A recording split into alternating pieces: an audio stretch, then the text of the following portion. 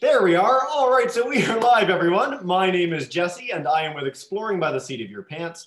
For those joining us for the first time, we're all about bringing conservation, adventure, and science into classrooms around the world. And today a little bit of all three of those. It's super exciting, and we are so happy that you could join us as we continue our series with the Toronto Zoo. So every single Tuesday and Thursday at 11 a.m. Eastern, we've been featuring amazing stories from the Toronto Zoo, everything from polar bears to Komodo dragons, tigers, tree kangaroos, and so much more. So thank you for joining us uh, and highlighting the amazing education work that they're doing. We've got some live groups with us today. We've got teachers from across Ontario and a student joining us all the way in Kilgore, Texas, which is really exciting. And a huge hello to all our groups on YouTube as well. Before we dive in, one quick housekeeping note. Uh, if you want to join us on the Slido app, I will type this in the YouTube chat bar. You can go to Slido and use the event code WILDLIFE, and that will get you in to take part in quizzes, games, and polls. So please do do that if you get a chance. All right, without further ado, today we are in a very special part of the Toronto Zoo. Previously, we've been in all places where the public can go visit, and today we are in the Wildlife Health Center. So this is a, a fairly new part of the Toronto Zoo, and it's an area where you can learn about how they take care of over 5,000 animals that live at the zoo. I'm really excited to check it out, and without further ado, thank you so much for joining us, Mary Ellen, and take us away. Alrighty, hi guys, thank you, Jesse. So like you were saying, my name is Marilyn. I'm a programs coordinator here at the Toronto Zoo, and I'm very excited to have you guys joining me here in our Wildlife Health Center.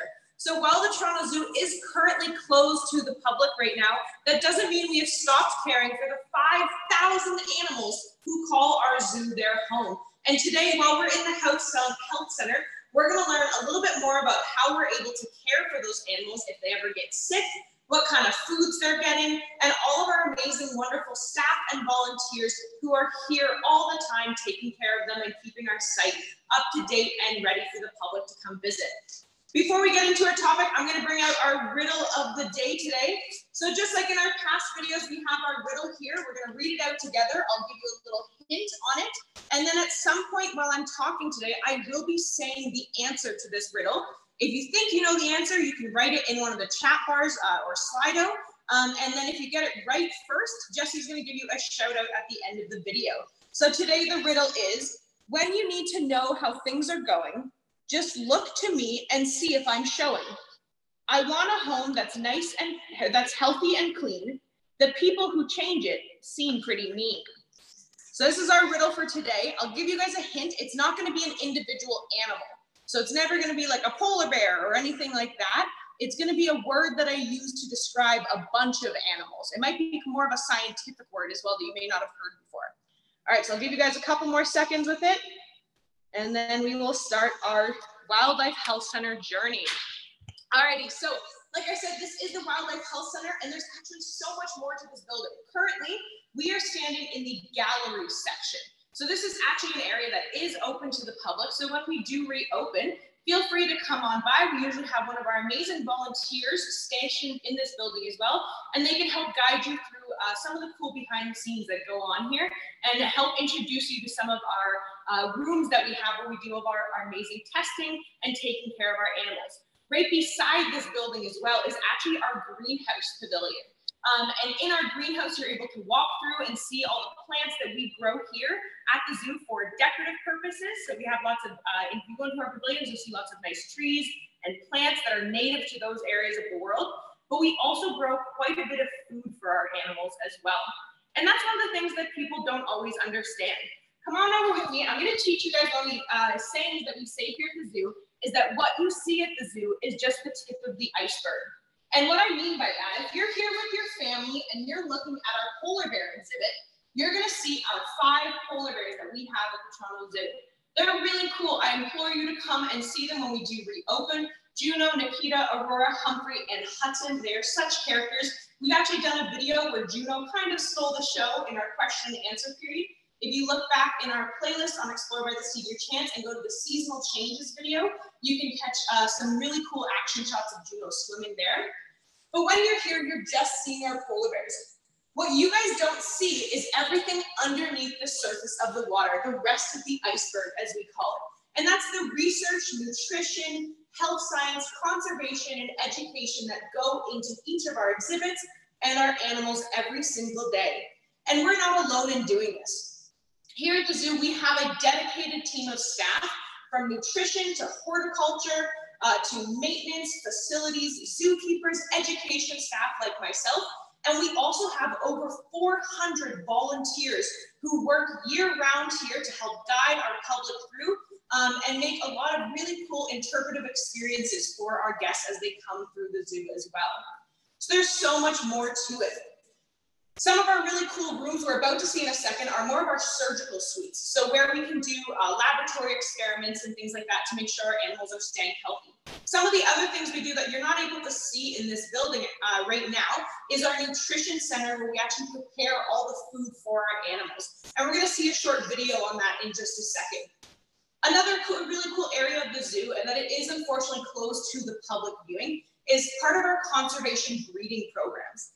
And this is something we're dedicated here at the zoo to do. Uh, we've talked in previous videos about SSPs, so species survival plans, and the red list. So in our rhinos video that we did, we showed our big red list, and it pinpoints where animals fall on that list if they're not doing so well in the wild. So their numbers are getting a little bit low. Some of the cool conservation programs we do here is we help breed animals and then release them back into the wild to try and get their genetics healthy in the wild and bring up their population numbers. One of those animals that we do this for is called the black-footed ferret. We do have one on exhibit in the Americas Pavilion. If you ever come here when we're open, you can check it out there. Um, but the black-footed ferret is a uh, type of ferret that is native to North America. So it's found in Alberta and also in parts of the States. And unfortunately, they are not doing very well in the wild right now. For a while, they were actually considered extinct in the wild, but luckily a small grouping of them was found. They were brought into captivity and places like, uh, accredited places like the Toronto Zoo uh, were brought in to help breed these ferrets and then release them back into the wild. Now this is important for a number of reasons. Animals are actually an indicator of the health of an environment. So we call these animals that we look at an indicator species. A lot of amphibians are also considered indicator species. If you see them in their habitat, it means that the habitat is healthy. As soon as they start disappearing and you can't see them anymore, they're harder to find, their numbers are dropping, and that usually indicates that that habitat is becoming unhealthy, and we need to change our ways and step in and give it a hand so that those animals can return to their natural habitats. All right, I'm gonna turn the camera over this way. We're gonna start looking at each of our treatment rooms here. So there's several giant windows that you can see when you come into our health center, um, and you're able to kind of get a peek inside about what some of our scientists will be working on. Our first three rooms here deal with um, what I like to call maybe the grosser part of things, but animal grossology is super cool anyway. Um, it's the things that come out of animals, we'll say it that way. So we're talking about fecal samples, urine samples, and also blood analysis. Now, these are really important for us because uh, looking at those three types of samples can tell us pretty much everything about an animal that we need to know. It can tell us their sex or their gender. It can tell us if they're healthy or not, if they're pregnant or not, if they're going to get pregnant, or if something is wrong with them. So we're able to collect these kind of samples from all of our animals um, and use them here with all of our equipment behind me and do lab analysis on them to make sure that our animals are staying healthy or if there's something wrong, we figure out what is wrong to make them healthy afterwards. So this is just one example of it. We'll head over to our next room over this way. So each one kind of has its own area. So we have a blood room, we have a urine room, and we do have a fecal room.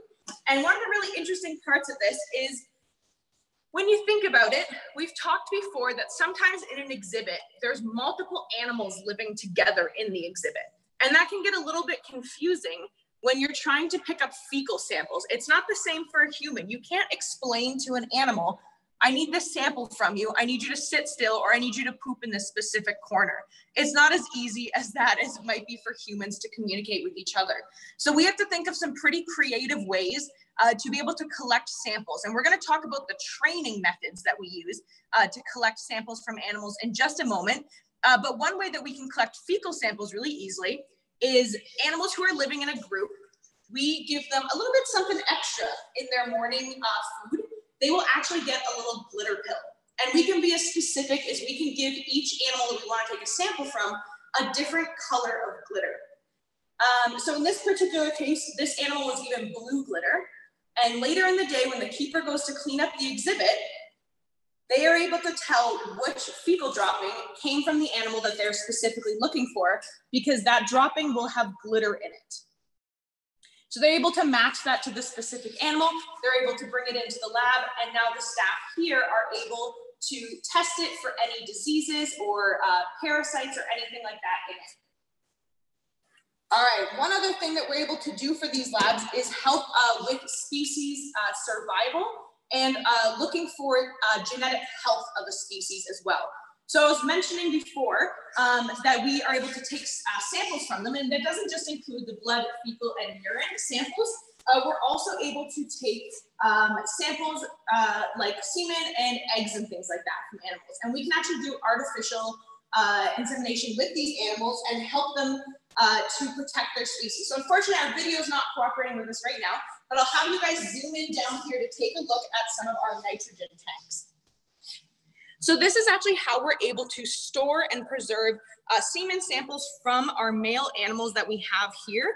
And this is really actually incredible technology. We're able to store these genetic uh, species in these tanks and then bring them out at a later date when we need to use them. So for example, there was actually uh, a couple years ago, 30 year old bison semen was successfully used, implanted in a female bison who is living today um, and produced successful offspring.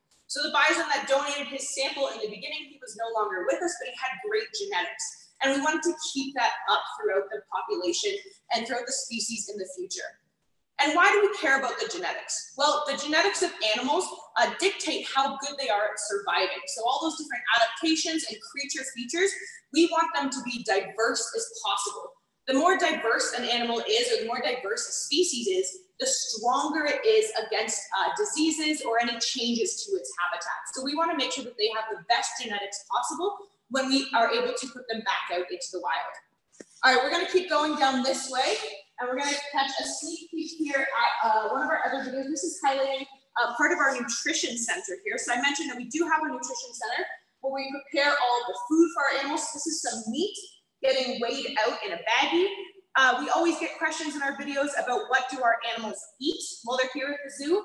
Um, and they eat a variety of things. There's lots of meats, there's lots of vegetation and plants, um, and they are able to uh, prepare it all. This is a calcium dust that gets sprinkled on food because we sometimes have to add supplements, just like you might take at home your vitamins or minerals in the morning.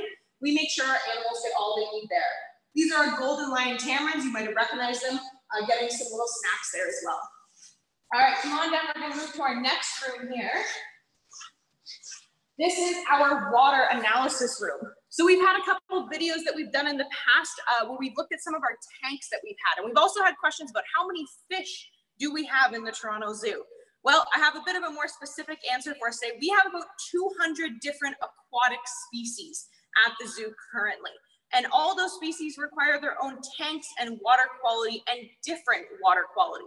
So some are freshwater, some are saltwater, and they need to be cared for in different ways. You might also remember while we were in Indomalaya Pavilion a couple weeks ago during our uh, habitats video there, we got a question about our orangutans and if they can swim in their moat.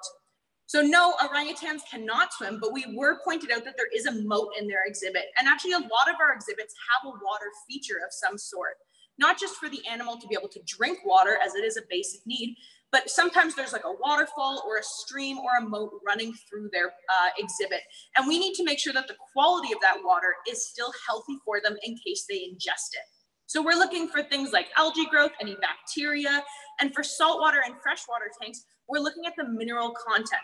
A lot of creatures who live um, in water all the time, they're very uh, finicky and they need very specific water temperatures and uh, mineral levels in there to make sure that they're able to properly survive. All right, so as we keep going down this way, um, we're gonna get a little closer. This is actually one of our black-footed ferrets uh, being knocked out right now just for a little bit of a treatment here. Um, so they're checking him out. The little gel they're putting in his eyes just to make sure his eyes don't dry out. All right, we're gonna keep coming down.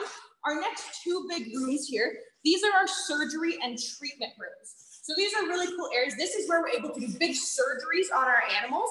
And the one over here is where we do our checkups and our, um, you know, uh, like daily checkups that we can do on them and making sure they're just uh, healthy, checking heartbeat, uh, looking at their eyes, their feet, that sort of thing. There's actually a great video right here. I always like to point it out. You can see that a fish is actually getting a checkup here. Um, so we actually have a wet table, which allows it to be quite moist for them so that they are able to uh, continue being cared for, even though they are an animal who needs the water. But I also just like to point out that this showcases that here at the Toronto Zoo, we take care of all of our animals, no matter how big or small. They are all very important to us, from the littlest of fish. And I believe the next video coming up is actually a lion getting a dental surgery done. Um, so we care about all of our animals here. We'll give it a second to see if we can get the lion video to come up here. And I'll make another note here. So this fish, obviously bringing a fish to the health center is very easy. Take a little net, put it in a little tank, and we drive it on over. Some other animals are not so easy. If you remember a couple weeks ago, we were in the Rhino Pavilion and we met Asha Kiran and Vishnu and Kiran, and they are about 4,000 pounds apiece. I definitely can't lift that. I don't think a hundred people could lift that all together. So for some of our larger animals, we actually have to go and make phone calls to them and we go to their exhibit to take care of them instead. So some of them are able to come here and then some of them are we go to them. We'll pop back in and see if we can get the tie or the lion video to come back up. We just have one more room we're going to talk about and then we have a very special surprise for you guys. Alrighty, so our last room down here at the end is our uh, imaging room. So this is a room where we're able to look at animals and tell anything that's wrong about them, uh, hopefully before we have to go in and investigate in a deeper level. So in here, we can take x-rays and ultrasounds. So there we can look at things like uh, the animal's bones or any of their uh, organs, see if there's anything wrong. We can also do CT scans and MRI scans. We don't do them here. We have a couple facilities outside of the zoo that we're partnered with who are equipped to actually care for animals and some places humans as well. Um, we can take them to get better imaging uh, for maybe brain or spinal cord injuries or anything like that that we need to check out. We're also not uh, new to uh, bringing in people to come and help us. So any animal who needs maybe a specialist or anything like that, we're able to bring in uh, other doctors from outside the zoo to come and help us. All right, so our last thing we're going to touch on before our very special surprise here. Mary um, Ellen, sorry to uh, interrupt. Sorry to interrupt, ladies. Oh, your video's back. It was gone for a second there. I just wanted to make sure you were good with video. Okay, perfect. We're all, we're all good? Yep, you're set. Okay, perfect. So we're actually about to meet two um, animals we've brought in today and some of their keepers that are here. And I mentioned earlier that we do have a dedicated uh, keeper staff, and they are some of the most important people for the health of the animal. Not only do they care for and clean the animal and feed them every day, they're actually the ones who notice things about the animals themselves.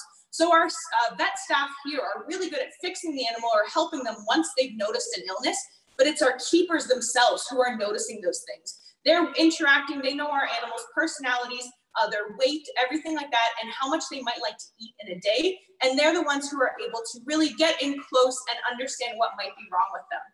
All right, before we bring out our special surprise, Jesse, did anyone get our riddle of the day? Yeah, so on Slido, a lot of people got it, but very first was Violet from Windsor who got indicator species. So congrats to Violet. Good job. You nailed it. There we go. That's awesome. Alrighty, guys. So before we go, um, we're gonna get some Q and A's in just a few minutes. But we have brought in two very special uh, animal guests here uh, with Ashley and Rebecca. And so we are going to introduce you guys uh, to them right now. Hi. Hi. So my name is Ashley and this is Rebecca, my coworker. And we are here with Blue, the blue and gold macaw. And that over there is Molly. He's a green wing macaw. Now, Rebecca and I both work in the Outreach and Discovery area here at the Toronto Zoo. So that means that we get to bring birds like this out to meet the public. We also do the shows in the Waterside Theatre that some people may have come to see. Uh, so we have a really interesting job. Now, macaws like this can actually live over 100 years sometimes. So a macaw the size of Blue here will live to be usually into his 60s. Uh, and a macaw like Molly, our green wing macaw, will live to be into his 80s. So a lot of the times when people think that they want macaw as a pet, they're not actually thinking that they might end up with them until they're 80 years old. So that's something to keep in mind. They're also very loud, even though these two don't seem to be making any noises right now. Uh, and they're very destructive. So always keep that in mind when you're choosing something like this as a pet. Now, something I think is really interesting about macaws like this is the black feathers that they have on their face. So it kind of looks like they have black lines on that white on their face, And those are actually little tiny feathers, and no two macaws have the same pattern like that on their face. So it's a lot like a fingerprint for humans.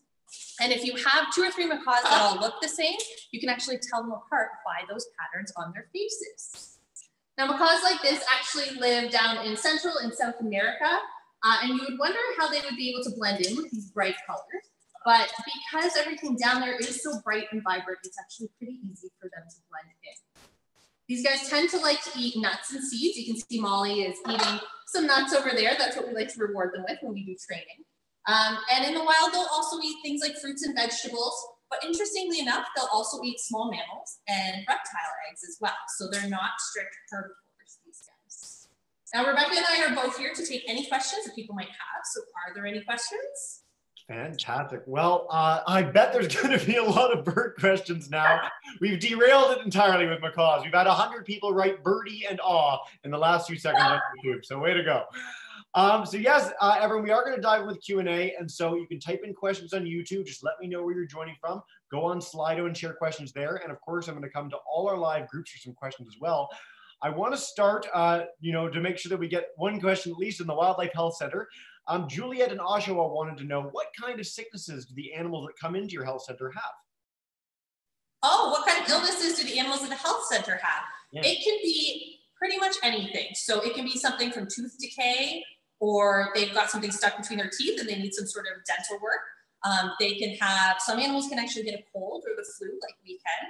Sometimes it can be an injury, something like an injured paw or an injured wing or something like that. So it could be just about anything it's really hard to narrow down exactly what what kind of illnesses they would all have. Anything that can happen to people can happen to animals, and of course, even more. But there's so many different species that you guys have there. Fantastic. Absolutely. All right, I'm going to go to Amelia joining us all the way in Texas. So if Amelia has a question, uh, let's go to her and uh, let us know, Amelia. What do you think? Do you have any questions for us today? Um, how many species do are there of um of birds, I think. Yeah. At the zoo. At the zoo. At the zoo. Thanks so much, guys. Species of birds are I have no idea. Well, um, we have to go through and kind of count each individual one, but there's about 450 different species entirely at the zoo. And I mentioned earlier, there's about 200 of them are different aquatic species, and there's about 5,000 animals overall. So I'd say there's at least probably 50 or so different species of birds I'd estimate here at the zoo. Very, very cool. And in our last session with the Toronto Zoo, they highlighted that in every one of the pavilions, there's a free fly area where the birds just fly around. So if you ever come to the Toronto Zoo and you get a chance, you'll see some really amazing birds right up close and personal. It's a really cool experience. All right, let me go to Mr. Hill. If you have a question from one of your students, uh, go for it. Come on up and let's just demute your mic. All be set. Oh, sorry. Here we go. Perfect. All right. Hi, Jesse. Um, Ava wants to know how on earth are those macaws so colorful? color in their feathers. They're just beautiful. Yeah. They are very beautiful. Um, honestly, it's just, they're just kind of born that way. So each different breed of macaw has different coloring. Something like a hyacinth macaw is almost like a purple. It's so dark blue. It's really, really pretty. Um, and so they're all just colored a little bit differently. And it's kind of like people, how we all look different and we all have brown hair or brown eyes or blue eyes. It's the same thing with macaws. They all just get those beautiful colors from nature. Fantastic. Uh, we got another quick question uh, from Slido from Genevieve in Oshawa, and she wants to know why do they have such a pointy beak? It's very prominent. That's a great question.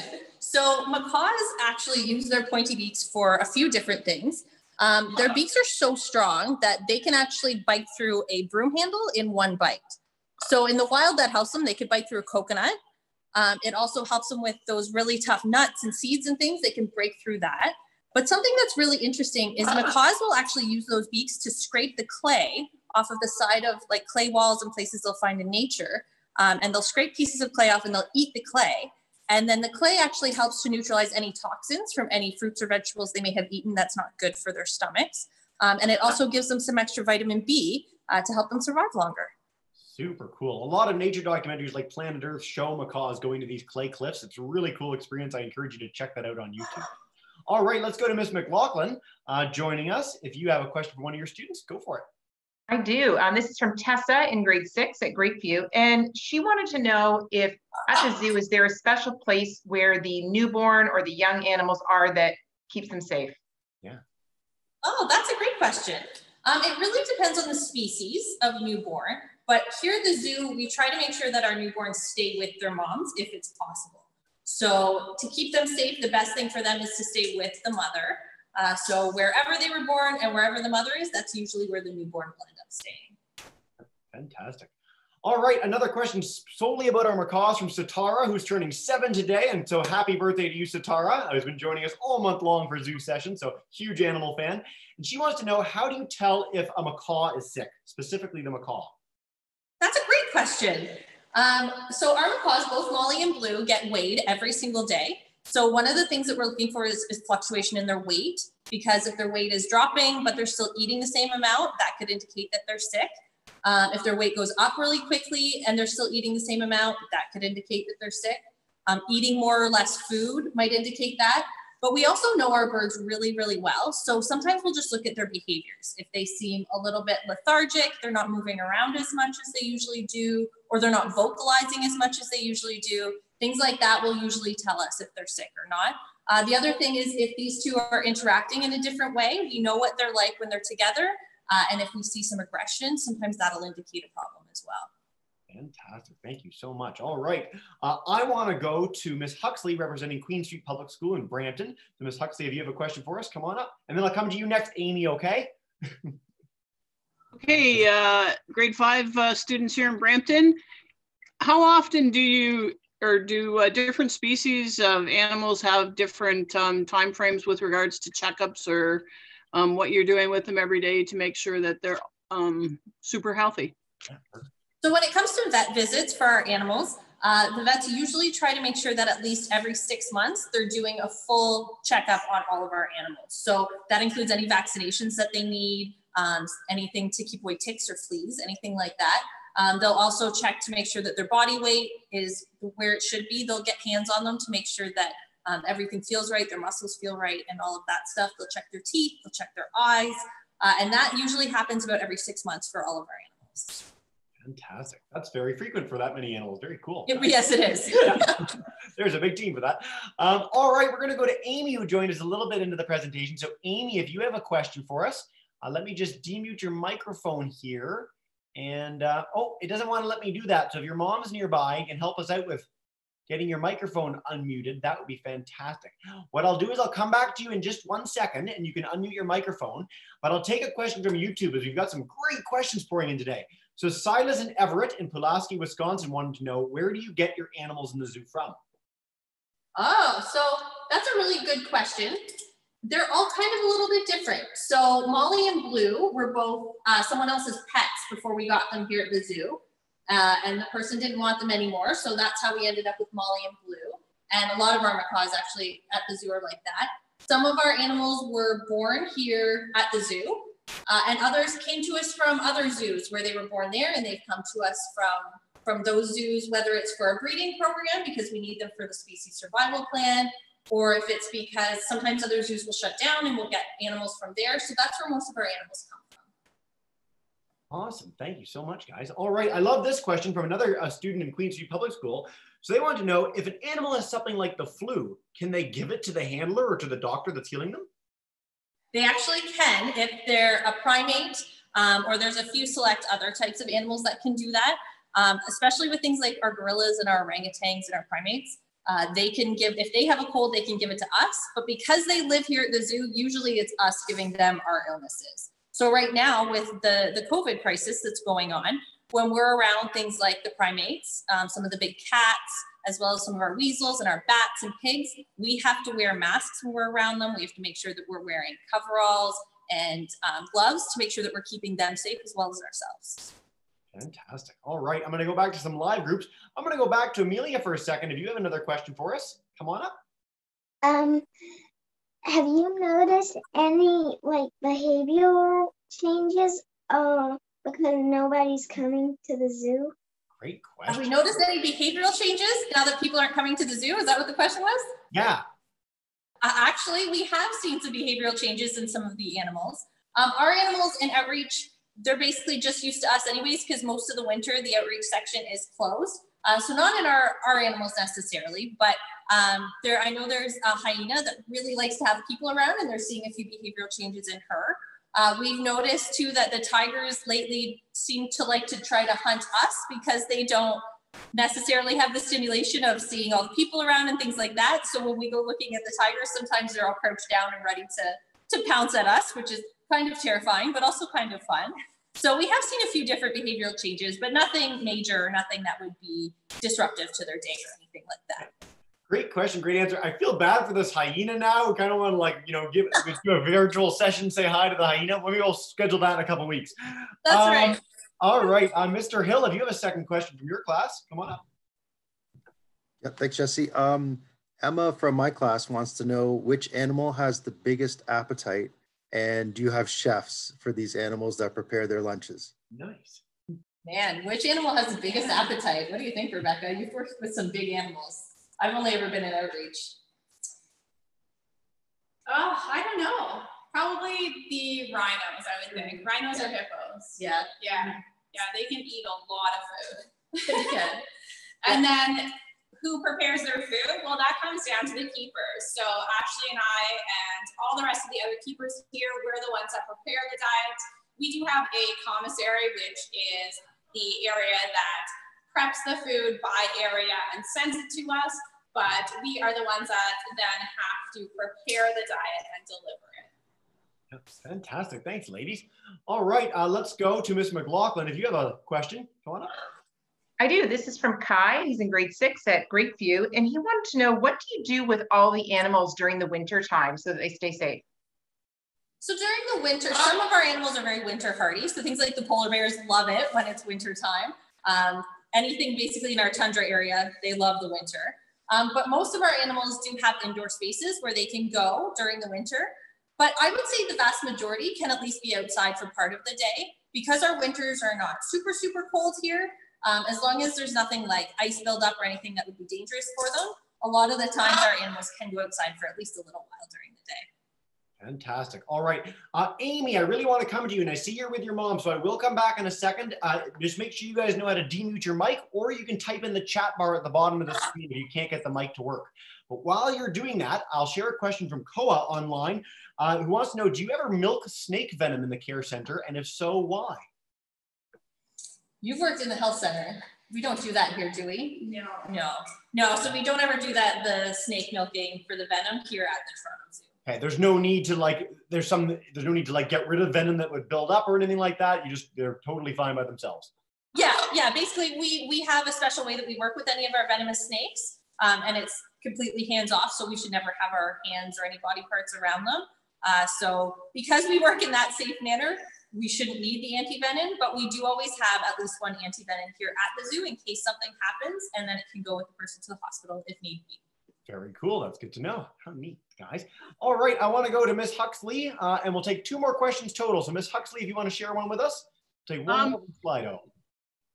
What, what kind of um, safety precautions are in place when you're dealing with the larger animals such as the cats and the rhinos and things like that?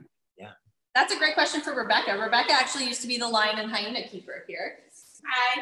So most of most of the animals at the Toronto Zoo, we work protected contact, which means we're never occupying the same space as them.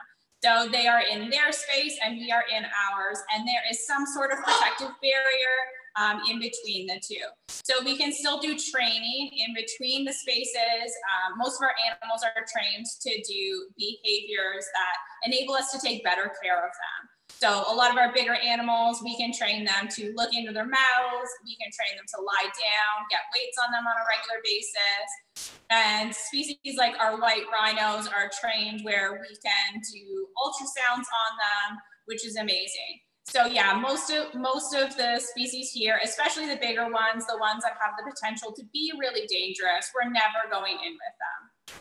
Fantastic. Thanks, Rebecca. All right, we're going to take one more question. I love this question. We haven't gotten in any of our sessions so far, and it's from Caden, who wants to know how many different vaccinations do you have to give to your animals, and are they different than the vaccines we give to humans, or some of the things that we would go for?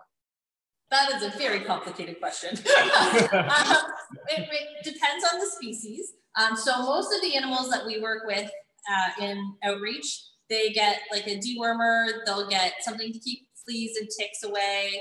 Um, they also get a West Nile vaccine quite often.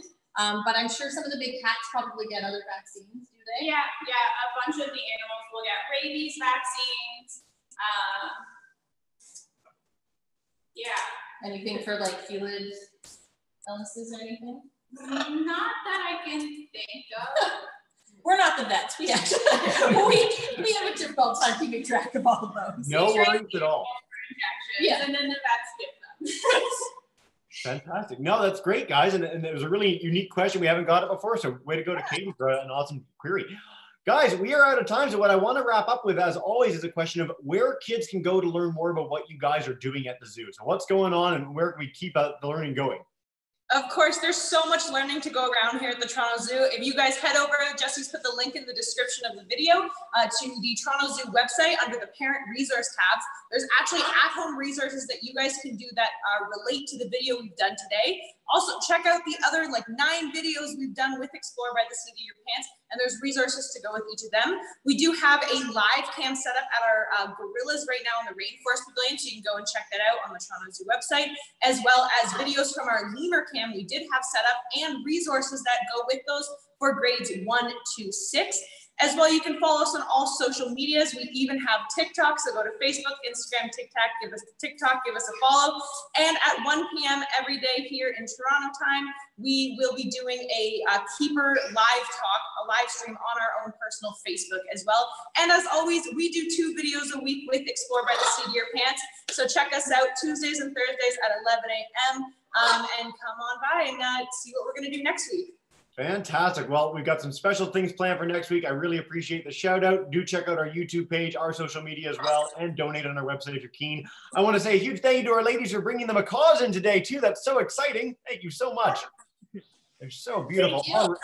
All right. Uh, for everyone on YouTube, over 350 people tuning in from Wisconsin, Texas, Alberta, Minnesota, and across Ontario. So a huge thanks for joining us as we continue to highlight the zoo. For now, everyone, and for our live groups, have a wonderful rest of your day, and we'll see you all soon.